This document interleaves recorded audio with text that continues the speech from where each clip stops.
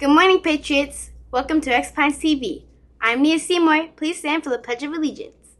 I pledge allegiance to the flag of the United States of America and to the republic for which it stands, one nation, under God, indivisible, with liberty and justice for all. And now for our school mission statement. We the Patriots achieve greatness through high expectations, passion, and perseverance. Thank you. You may now be seated. Today is Thursday, April 13th, 2023. Now let's take a nice and relaxing brain break.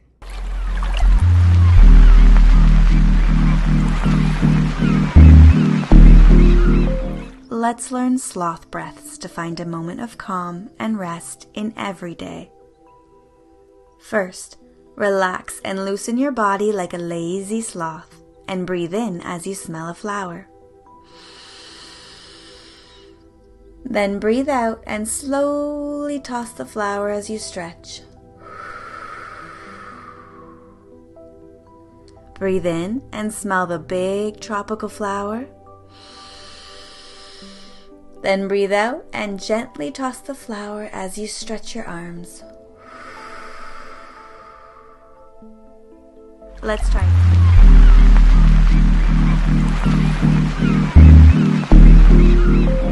Can never get enough of these relaxing brain breaks. Now let's see what happened today in history with Hadassah. Thank you, Nia. Good morning, Patriots. Today in history on April 13th, 1964, Sidney Poitier became the first African American to win the Academy Award for Best Actor.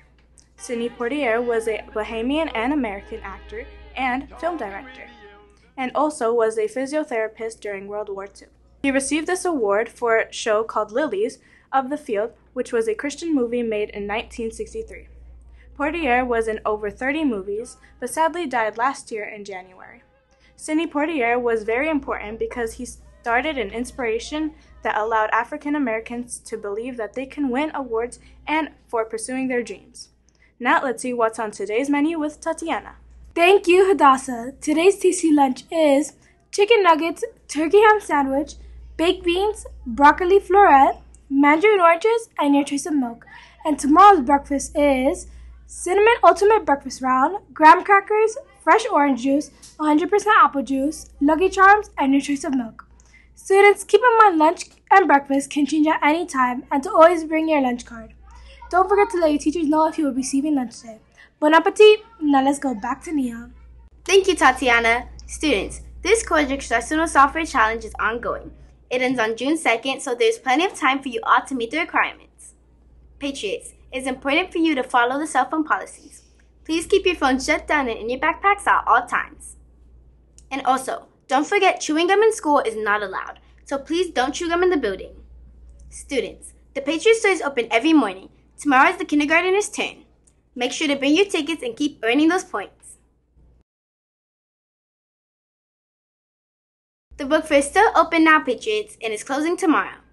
Make sure to check the schedule to see when it's your time to shop at the book fair. Get ready for kindergarten through second because tomorrow is the K through second egg hunt. I can't wait to see the highlights of this event. As you all should know, we have held many award ceremonies this week.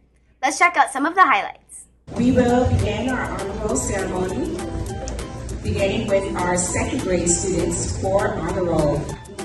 Let's give our first round of honor roll students a great round of applause.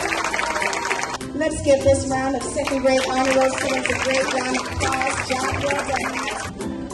Let's give this round of second grade honor roll students a great round of applause. Congratulations.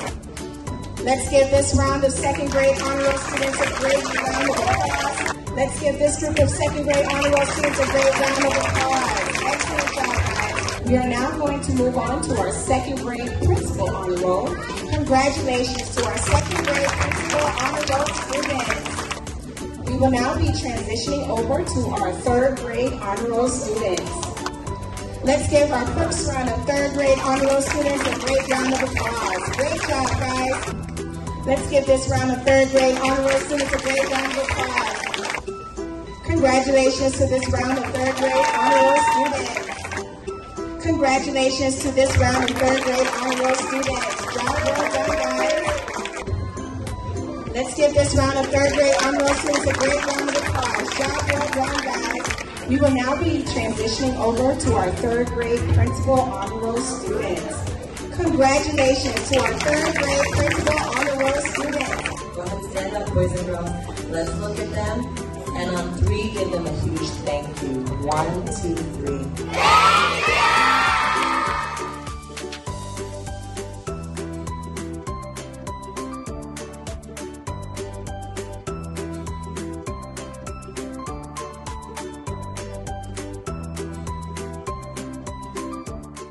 Good morning, Patriots. Today you're going to want to spend some time outdoors because the weather is expected to be a nice 83 degrees Fahrenheit with scattered thunderstorms. In other weather news, have you ever seen a corpse flower?